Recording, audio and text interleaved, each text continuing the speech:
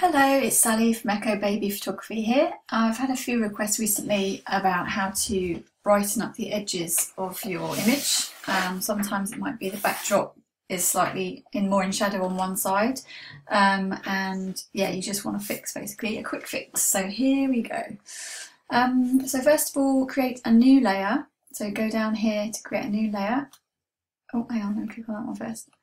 Okay so I've now got layer one Next thing you need to do is change that blending mode to soft lights, like that. Then go over here to your gradient tool and what you want to do is make sure that it's white because I want to lighten it up. So make sure it's just white. You've got all these different combinations here. Make sure it's just white. If you've got a different colour in your box here, say for example like that, you can press D to change it to black and white and then X will switch it between the two. So I want white, I'm going to use a soft brush, oh no sorry not, I'm going to the gradient tool.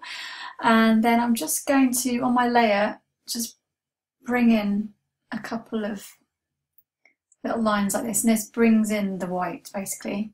And you're not adding a white colour, you're just lightening that area. So it's the same colour that was there originally, you're just lightening it and if you want a bit more you can increase the opacity. This will work if you've got like I said a backdrop that's a bit dark on one side. This will work with that kind of situation. It's a pretty easy fix. And if I toggle on and off you can see how that's just brightened up that side. And again if it's too much you go to opacity just bring it down a bit. Hope that's helpful. See you next time. Bye